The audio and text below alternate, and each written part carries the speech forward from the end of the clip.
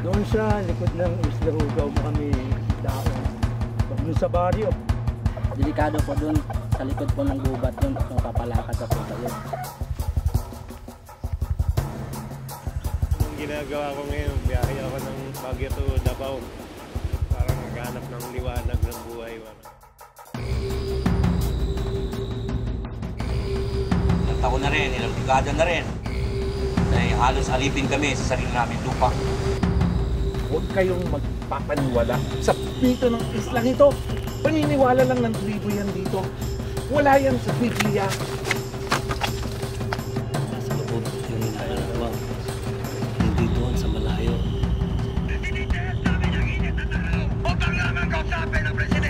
Andre, Andre, dahil sa'yo, sinumpa na tayong tatlo. Yung liwanag, yan yung liwanag sa puso.